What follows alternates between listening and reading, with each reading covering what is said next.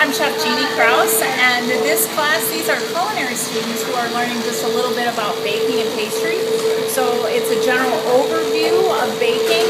We have done cakes and quick breads and muffins. Uh, we did some, um, right now we're working on breads and what else? you guys, what else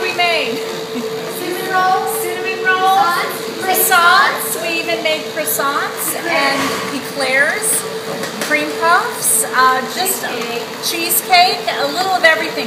Some custard, Best vanilla cake and creme brulee. We made tiramisu. Um, we tried to think of all of the things that people would want to make for their home, and um, taught them how to make that.